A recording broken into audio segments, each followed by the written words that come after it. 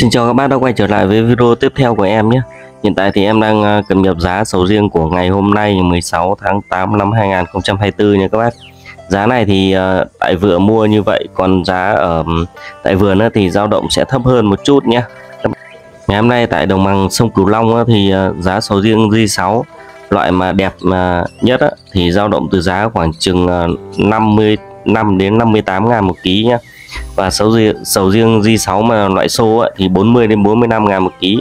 Còn loại sầu riêng à, một loại C á, thì nó dao động từ khoảng 30 đến 35 ngàn một ký nhé còn về sầu riêng Dona sầu riêng Thái á, loại đẹp thì dao động từ 80 đến 85 ngàn một ký. Còn sầu riêng Thái một loại xô thì sẽ có giá từ 60 đến 62 ngàn một ký nhé còn sầu riêng Thái loại C thì nó sẽ có giá dao động từ 35 đến 45 ngàn một ký à, xin lưu ý rằng giá này sẽ cập nhật ở chỗ um, vựa mua nhé còn tại vườn sẽ giá khác nhé thấp hơn một chút nha các bác nhé.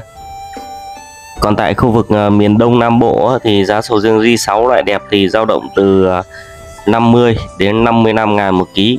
Sầu riêng uh, J6 xô thì dao động từ 40 đến 45 ngàn một ký. Sầu riêng uh, J6 loại C thì dao động từ 30 đến 35 ngàn một ký nhé và loại à, sầu riêng Thái Lan, sầu riêng Dona loại đẹp ấy, thì dao động từ 78 đến 85 ngàn một ký. Còn sầu riêng à, Thái Sô thì dao động từ 55 đến 65 ngàn ký. Còn à, sầu riêng Thái loại C thì nó sẽ cũng có giá từ khoảng 35 đến 45 ngàn một ký nha các bạn nhé. Em xin phép lưu ý lại lần nữa là giá này cập nhật tại vựa, còn tại vườn sẽ mua sẽ rẻ hơn một vài ngàn nhé và cuối cùng em xin phép cập nhật giá sầu riêng tại Tây Nguyên ngày hôm nay 16 tháng 8 nhé. Thì giá sầu riêng Ri6 loại đẹp ấy, thì giá dao động từ khoảng 50 đến 55 ngàn một ký. Sầu riêng ờ, Ri6 xô thì khoảng từ 40 đến 45 ngàn ký. Và sầu riêng J6 loại C thì sẽ có giá từ 30 đến 35 ngàn một ký nhé. Và đặc biệt sầu riêng Thái Dona thì sẽ có giá từ 78 đến 82 ngàn một ký còn sầu riêng à, Thái mà xô thì sẽ có giá từ 55 đến 60 ngàn một ký.